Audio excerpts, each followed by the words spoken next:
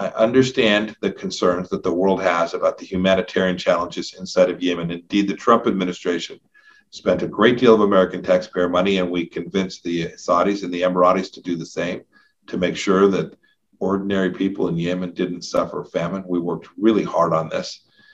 We made sure the best we could that food got into that country. But the people who were preventing global aid from reaching those who actually needed that food and that medicine were, in fact, the Houthis.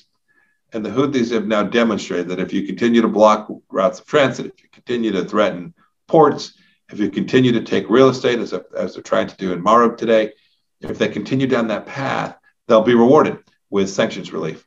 That's the wrong direction. They, they understand one thing, they understand uh, power. Uh, we've now demonstrated that we're prepared to give them something when in fact they gave up nothing.